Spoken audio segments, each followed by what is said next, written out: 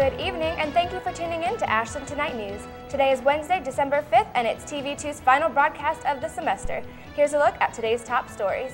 Did you receive a text message today? AU is keeping up with the latest technology for student safety. Hear more details when we come back. Don't worry, it's not too late to sign up for tomorrow's dodgeball tournament. Find out how to play when we come back.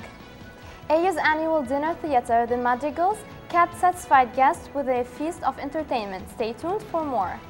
AU is festive with the 17th annual lighting ceremony this weekend.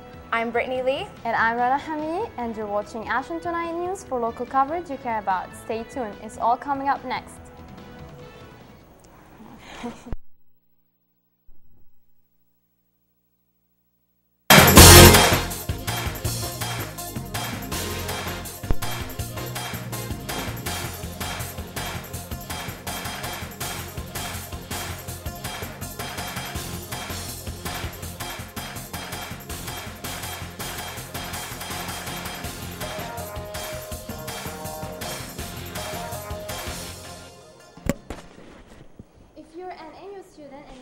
today at noon, hopefully you had your cell phone on silent. At 12.30 this afternoon, Ashland University Safety Services tested its emergency contact service. The system sends a text message to users' cell phone notifying them about any potential emergencies on campus. Users who sign up for the service can be notified with information from all Ashland University branches. The test message sent today was sent to all registered users at every campus branch. Safety Services Director Dave McLaughlin explains what took place today. We tested our emergency notification system using the E2 system that we have. Um, what we'll do every semester, at least once a semester, send out a test message. The whole idea of that is to make sure that our staff, the people that are sending out the messages, are proficient in doing it. Also, to test the system to make sure that it's operational. And it also gives the students an opportunity to, to see what a message is going to be like. I think it's a good system. I, I think it's going to you know enhance the security here. Hopefully, if everybody signs up for it, and I encourage everybody to sign up for it. If you are interested in signing up for the service, log onto www.ashland.edu and click on the Spotlight section in the lower right-hand corner of the screen. The service is free to anyone who wishes to sign up.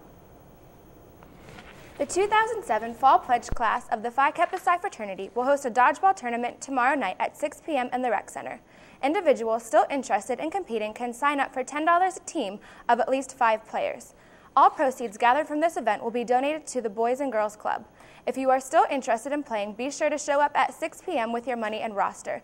If you have any questions, email Garrett Winnicky at gwinwenck at ashland.edu. Tuesday, December the 2nd, wrapped up the last day of the Madrigal Feast, which started on November 28th in Redwood. The feast is a dinner theater accompanied with entertainment, suggesting the time of Queen Elizabeth I of England in the 1600s. The entertainment is primarily musical, during which AU chamber singers perform Christmas carols, ceremonial music, and madrigal. During this night event, the cast wears costumes designed as authentic renovation of period attire. The feast also included a four-course meal ending with flaming bread pudding. AU's 17th annual Festival of Lights is scheduled to take place this Sunday, September or December 10th. The ceremony will include readings and musical performances by the Ashland University Choir, Women's Chorus, and Ashland area choruses. The service will be located in the Jack and Deb Miller Chapel. Doors will open at 6 p.m., music will begin at 7 p.m., and the candlelight service will begin, begin at 7.30 p.m. Canned food will be collected during this event and will be distributed to needy families in Ashland County by the Associated Charities. This event is free and open to the public. On December 16th, AU will hold a winter commencement ceremony in Kates Gymnasium. Students will have the honor this year to listen to Daniel Bogden, a 1978 graduate of Ashland University. Bogden is one of the eight U.S. generals dismissed by the White House earlier this year, and he is well known for serving as United States Attorney for the District of Nevada. Ashland University is proud of Bogden's achievements and welcomes him back to AU. An acoustic cafe was held last night featuring singer and songwriter Meg Allison. The event was held at 9 p.m. in Redwood Hall. Meg Allison is a 23 year old graduate of Miami of Ohio University. After receiving her degree in mass communication, Allison moved to Jackson Hole, Wyoming, where she kicked off her musical career. Her debut album was released in 2005 entitled Missing Piece. Allison says many of her songs are inspired by favorite artists such as Jason Mraz, Ryan Adams, and Patty Griffin. For more information or to sample her music, log on to www.megallison.com. Slippery roads resulted in a fatal car accident Monday on Interstate 71. We'll have the details next. Also, Mansfield has high hopes for its new mayor. It's coming up on Ashland Tonight News. Stay tuned. My name's Andy Macdonald. I ride this useless wooden toy for a living. It's hard. I've been doing it for 13 years. I'm still lame. I do a trick called a 540. Took me good six years to learn. There's a whole generation of skateboarders out there that are just as talented athletically as any basketball or football player. It takes somebody that's not going to be afraid to fall down a lot because you definitely will fall down. You're not a failure until you refuse to get back up. Drugs are only going to hinder what I'm trying to do. That right there is my idea of getting high.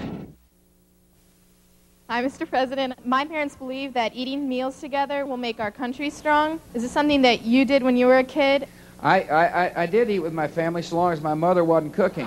It's not good making fun of your mother, even if you are president, but it is good to have dinner with your kids. We know the more often children have dinner with their families, the less likely they are to smoke, drink, and use drugs. So simply having dinner together can help your children forever, even if you're not a great cook. Kids, how do we take care of our teeth? Brush your teeth twice a day. Floss your teeth once a day. If you want healthy teeth, do this every day. Brush your teeth. Fight tooth decay. Floss your teeth. Don't forget regular dental checkups, okay? Brush your teeth twice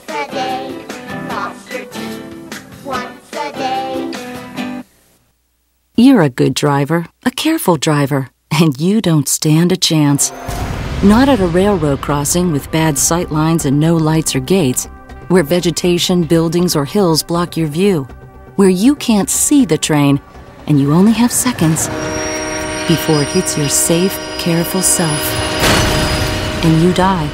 Go to angelsontrack.org to report dangerous crossings because careful is just no match for a 200 ton locomotive. Welcome back. A fatal car accident occurred Monday morning on Interstate 71 around 7 a.m. between Ohio 61 and Ohio 95. According to witnesses, 28 year old Philip Letters of Mansfield lost control of his 1988 Honda Civic while crossing a bridge.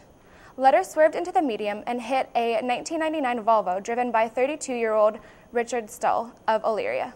Both men were pronounced dead at the scene. A third vehicle, an Isuzu Rodeo towing an, AU, or an U-Haul trailer, was hit by flying debris. However, the vehicle only suffered minor damages and none of its passengers were injured. injured.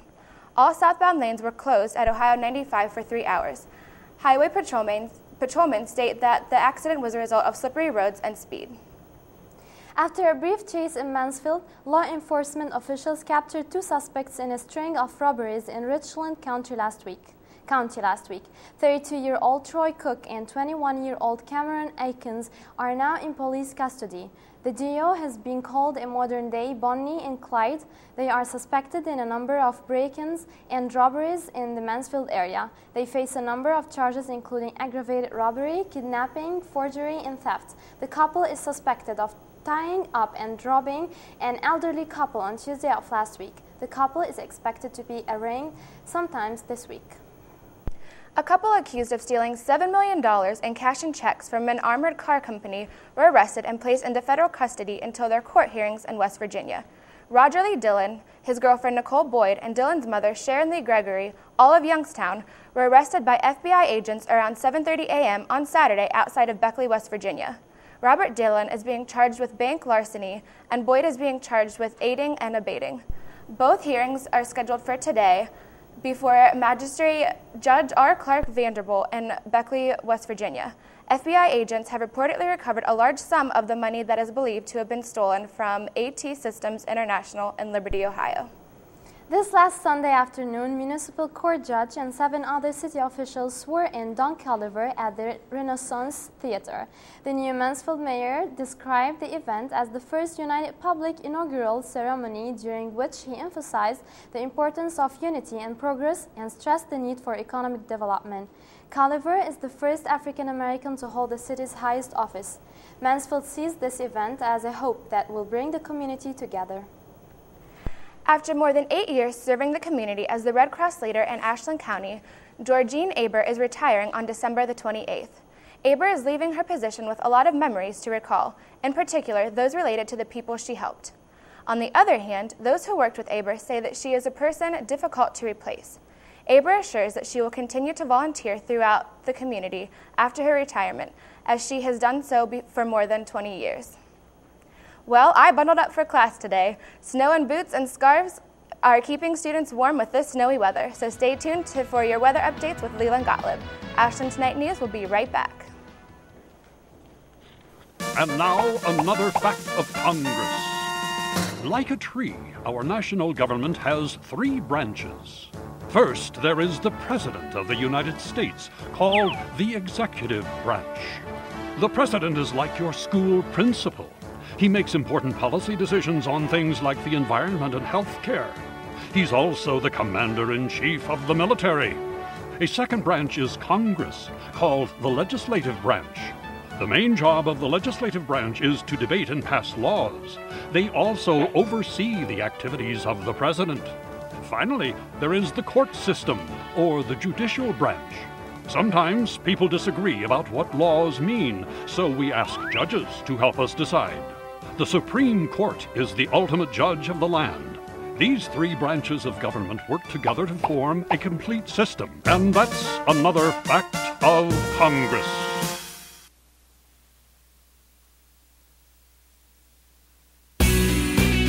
Ashland Theological Seminary, transforming the world. One pastor, one counselor, one city, one campus, one village, one family, one teacher, one crisis one missionary, one shelter, one church. Transforming the world one student at a time.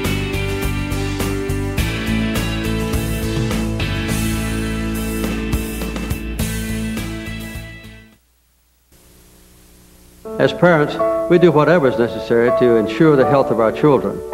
Sadly, most parents don't realize that their child's first eye exam with an eye doctor should be between the age of 6 and 12 months. I urge you to take your baby to an optometrist for a comprehensive eye assessment. It can literally change your child's vision of the future. InfantSEE optometrists offer a no-charge eye assessment for infants 12 months old or younger. Call today to find an optometrist near you. Welcome back to Ashland 2 Night News. I am Leland Gottlieb with your weather. Let's get right to the maps right now and see what's going on around the region. As you can see, we have a low pressure system just to the east of us, and this worked through the area the past 24 hours and left behind some moderate snow accumulations around the Mansfield, Ashland, and Wooster area. We saw uh, accumulations anywhere from three to four inches. Now, behind this low pressure system, we have a northerly winds with a high pressure system, which is leading to some lake effect snow showers. I don't see much in the way of accumulation. We may see another dusting to half an inch before the evening is over. Now, as we shift our attention to the temperatures, you can see exactly where this low pressure system is cut out. Above, or to the west of it, we have temperatures in the 20s, and even up in Fargo, we have temperatures below zero. Now, this won't make it that far south, but we will see temperatures in the teens this evening. Lastly, as we take a look at the current wind chills, we can see behind this low pressure system, we have winds anywhere from 20 to 30 miles per hour. And with these winds, we may see some pretty hefty wind chills and right now in Ashland, we have a wind chill of currently 12 degrees, which is pretty brutal. So for the rest of the evening, I would stick in and just study for your finals. Now, for the next three days, we'll see mostly sunny conditions tomorrow, but don't be fooled by that because the high will only be 29 degrees. And then we'll see temperatures moderate for the next two days up to 35. That's all I have for weather. Here's Brendan with sports. Thanks, Lee. I'm Brendan Bittner. Now let's get to all the action in AU sports. The men's basketball team came, came into Saturday's matchup against fourth-ranked Findlay as underdogs, but they came out as victors in a monstrous upset of the Oilers, 84-81. This is the same Findlay team that defeated Ohio State in the preseason. AU coach Roger Lyons, who is known for relying on a man to man defense, confused Findlay with his implementation of a 1 3 1 zone look. As a result, Findlay shot just 43% from the field and 32% from three point land. Center Kale Richardson, who is the GLIAC Player of the Week now, paced the Eagles with 28 points. He also hit on all 10 of his free throws. Ashland made its last 11 from the stripe in the game, but still needed Findlay to miss two threes in the final seconds to secure the victory. Brett Wackerly added 18 points, including three clutch threes in the second half. Tyler Rosenberger chipped in 16 points and five boards, and Brett Bartlett tallied 14 points. Ashland is now 3 and 3 on the season and 1 and 0 in the GLIAC. They look to build on the victory tomorrow night at Hillsdale. The women's basketball team didn't need all that drama to win their game against Findlay. They won on Saturday 71 to 58. Ashland shot 50% from the field. Center Jessica Minch led the offensive attack with 23 points on 9 for 14 shooting. She also added three blocks on the other end. Betsy Morrison threw in 11 points and snagged 12 boards for the double double. Back on November 25th, Ashland did need the drama to pull out a win against Shepherd at Kates Gymnasium. The Eagles blew a 13 point lead as Shepherd tied the game at 88 with five seconds to play, but Alethea Lamberson took the inbounds pass, raced up the floor, and hit a 25 footer with 0.2 seconds left. She finished with 20 points, 7 dimes, 6 boards, and 4 steals. Ashland is 5 and 2 on the season and 1 0 in the GLIAC. They traveled with the men to take on Hillsdale tomorrow. Ashland's swimming and diving teams dove into the pool this weekend against Mercyhurst and Gannon. The women won their side of it with 752 points. Edinboro finished with 497 and Gannon 409. Freshman Allison Morgan set the school record in, a, in the 100 butterfly with a time of 59.02 seconds. Morgan also won the 50 freestyle and 100 freestyle. She also was part of the 200 freestyle relay, 400 medley relay, 200 medley relay, and 400 freestyle relay teams that finished first. Janice McCloskey took home the victory in the 200 butterfly, and Emily Hilgert won the 100 backstroke. The men's team also won the invite, finishing with 712 points. Gannon had 474 and Edinboro 397. Freshman Eric Hackinson qualified for the national meet and set a school record in the 200 freestyle with a time of 1 minute and 40 seconds. He also won the 200 freestyle, also on the weekend before Derek, also winning on this weekend were Derek Baylog, Sean McGraw, Brian Warhatch, Jonas Jeffsell, Andy May, Oscar Thomason, and Chewy Vogel. The Eagle men also won five relays, including the 400 medley, 200 free, 200 medley, 800 medley, and 400 free. Both teams have a long break from competition as they don't compete again until January 11th at Gannon. The Ashland wrestling team finished second in its second tournament of the year. On Saturday, it finished with 115 points, six and a half behind winner Mercyhurst at the 10th annual Simonson Invitational in the Conard, Conard Fieldhouse. Two Eagles finished at the top of their weight class. Justin Ferguson won at 184 pounds and Josh O won at 197. Three Eagles finished as runners-up. Kyle Kanaga at 141, Marcus Gordon at 149, and Muhammad Abdul Rahman at 157. Ashland hits the mat next week, next in Newberry, South Carolina, on December 15th for the Southern Duels. Several Eagle athletes qualified for a national meet in the indoor track and field non-scored meet at Findlay. Michelle Starks and Tara Cooper qualified in the 20-pound weight throw. Cooper's throw of 17.75 meters is the new freshman record in the weight throw. Jen Tinney qualified for nationals in the shot put. Rob Clank qualified in the 35-pound weight throw, and Brian Vickers qualified in the shot put. Congratulations to all those AU athletes. That closes the book on a very successful week in Eagle sports.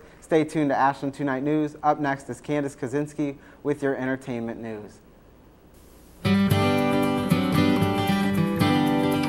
Our children want to know everything about the world around them. And yet, sometimes what they discover makes them feel vulnerable and insecure. In times like these, they need the comfort of an adult, the honesty of parents, and playtime to help them deal with their feelings and fears. Time that will literally heal their hearts.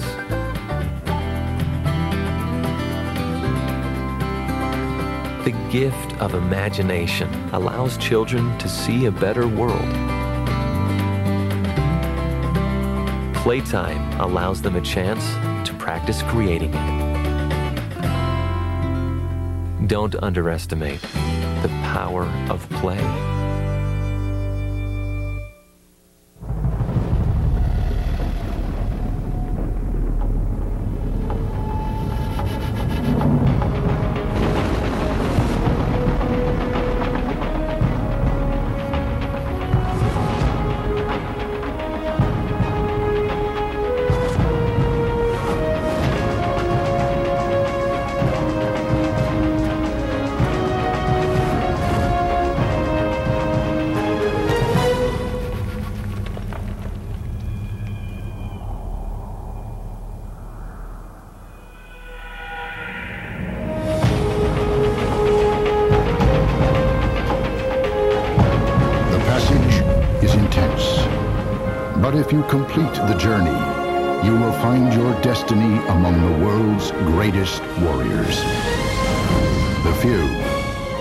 The Marines.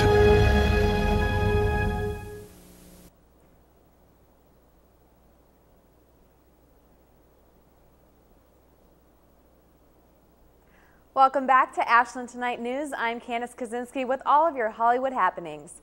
Well, according to a report found in Star Magazine this week, high school musical sweethearts Vanessa Hudgens and Zac Efron are going through a bit of a rough spot in their relationship. It seems that Mr. Efron is a little too metro for 18 year old actress. An insider quoted in Star Magazine this week said that Vanessa told Zac to stop being such a sissy and freaking out when he gets blemishes. Apparently, Efron almost bailed on a birthday bash he was scheduled to attend recently, all because of a zit. Well, Zac, if, you, if I were you, I'd give the folks over at Proactiv a call. They're always looking for new celebrity endorsements. In other Hollywood news, actor Dennis Quaid and his wife filed suit yesterday against Baxter Healthcare, the makers of the drug heparin. This after their newborn twins were given an overdose of the drug. The product liability suit claims that the company was negligent in packaging different doses of the product in similar vials. The couple is seeking more than $50,000 in damages. The twins were released from the hospital and are said to be at home and appear to be doing well. Well, it is the season of giving, and celebrities Nicole Richie and Joel Madden were in full swing this week as they hosted a surprise baby shower for 100 expectant moms at the Los Angeles Free Clinic in Hollywood. The couple handed out over $200,000 worth of gifts to the moms to be. Richie was quoted as saying, There is a responsibility to help the community. Way to go, Nicole. Those 82 minutes you spent in jail really must have made an impact on your life. Well, that's it for this week's entertainment report. I'm Candace Kaczynski. Right now, it's time for your health report with Michael Hartz. Thanks, Candace. I'm Michael Hartz, and this is tonight's Ashland Tonight News Health Report. A study found, today, found in today's Journal of the American Medical Association finds that antibiotics have little to no effect on sinus infections. The study conducted by British researchers found that people suffering from facial pain and a runny nose with, it gets a little gross here, greenish or yellowish mucus generally improved in about two weeks regardless of whether or not they took an antibiotic. The most commonly prescribed antibiotic for sinus infections is amoxicillin, which is very similar to the antibiotic penicillin. There are about 31 million sinus infections diagnosed each year by doctors in the United States, making sinus infections one of the most common reasons for a doctor's office visit. Well, cheer up, Ohio. According to a report in Mental Health America released this week, Ohio is among the saddest states in the country. Researchers recently ranked 50 states by looking at depression and suicide statistics. Utah was named the saddest state, with 10% of adults and adolescents reporting that they had experienced a severe depression in the past year. Researchers also found that states with higher suicide rates had fewer mental health care resources, and those happy states like South Dakota had more psychologists and psychiatrists on hand. Mental Health America hopes to highlight the need for an increase in mental health care resources in the United States. Well, with the holiday season rapidly approaching, TV2 has some tips to make sure your gifts for the young ones this year are safe. When you are shopping for children's gifts, make sure to be a label reader. Always look for the safety recommendations found on the package. Avoid toys that may have sharp edges or small parts as they may cause unforeseen injuries. If purchasing riding type toys such as a skateboard or rollerblades, be sure to purchase safety gear like helmets, knee pads, and elbow pads. Also be sure to immediately discard of plastic, packaging, and other packaging once the toy is opened.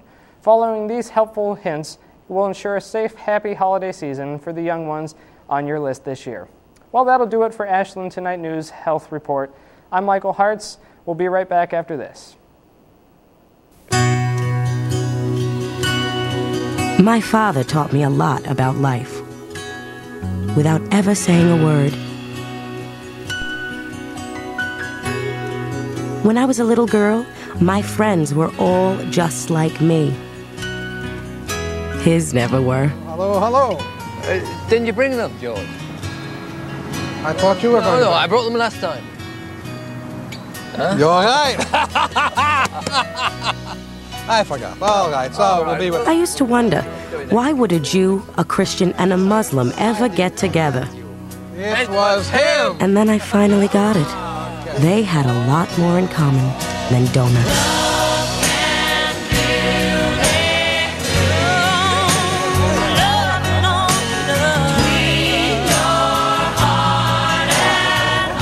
Friendship. Pass it on. A message from the Foundation for a Better Life. With diabetes, you feel more vulnerable. Every day is a new challenge. Diabetes has made me improve my life. I take better care now. I could actually die from the flu. Being in control is the only way to survive. A flu shot? Guess you could say it's like a life preserver when you have diabetes. I'm going to ask my doctor for a flu shot today. One in eight Americans goes hungry. One idea helped change that. A community started a garden that blossomed into farmers markets. One in six children lives in poverty. One group of women found an answer by opening a daycare center that their neighbors could afford. Today, 36 million Americans live in poverty, but one by one, people are helping themselves and each other to change the picture of poverty to one of hope. For easy ways you can help, visit povertyusa.org. Welcome back to Ashland Tonight News. Don't forget, this Friday is the last day to turn in winter housing applications. Turn in applications to Res Life located in the Student Center by 5 p.m. Bingo, grocery bingo that is. Tomorrow night, gather with friends and test your luck to win some snacks. It's, it all starts at 9 p.m. in Redwood. The annual late night volleyball kicks off this Friday at 9 p.m. to 3 a.m. Food and drinks will be provided, so be sure to sign up. Entries are due today to Rec Services. Access and International Club is organizing a Christmas party on December 7th at the Trinity Lutheran Church at 7 p.m. We're going to have activities and entertainment, so come and join us. And yup, we do have free food and drinks served. RHA knows how hectic finals can be, and breakfast always sounds good. Come enjoy late night breakfast and convo on Monday at 9 p.m. So, how are the finals going on? uh, well, I'm They're running, finals, yeah. I'm Yeah. running on three hours of sleep and lots of coffee. Basically. Oh, I feel you. I have a history exam on Monday that I'm really nervous about. We're almost there, though. Almost. Almost done. Well, that about does it for tonight's Ashland Tonight News. We would just like to thank our TV2, TV2 crew. And if you are interested in helping out with Ashland's TV station, you can email tv2 at ashland.edu. Also, remember to send in your questions to TV2 to ask AU President Finks what he thinks. That's right, and don't forget to join us next year on Wednesdays at 5 o'clock. Thanks for joining us. Have a happy and safe holiday. Have a great night, everyone. Good Good night.